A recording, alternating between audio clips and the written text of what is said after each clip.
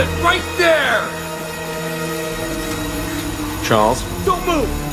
Hands up! Or we will shoot! Freeze him, Charles. I can't. Hands up!